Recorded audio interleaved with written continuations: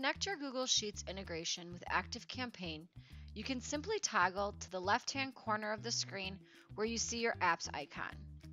You can search Google Sheets and you'll find that you're able to really easily connect your account right here through this Connect Account button.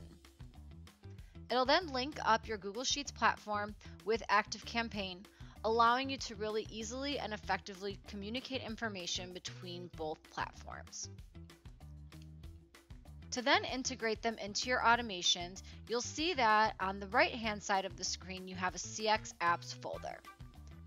If you were to expand that folder, you can drag in your Add a Row in Google Sheets to any part of your automation that you'd like. It'll allow you then to connect, select the sheet that you'd like, and then map your fields to each other. Here we'll select our account.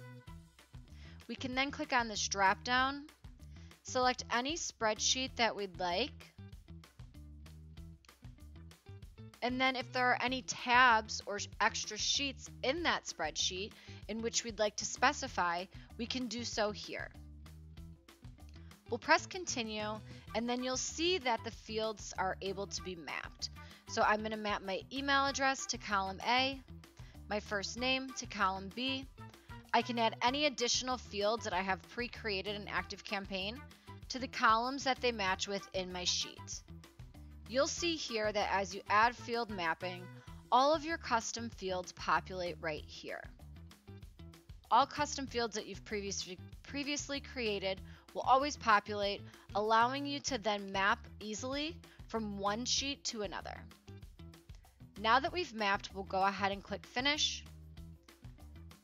Our step will be impl implemented into our integration, and you'll see that then, once somebody is unsubscribed from all of your lists, you will then communicate that information straight into your Google Sheet.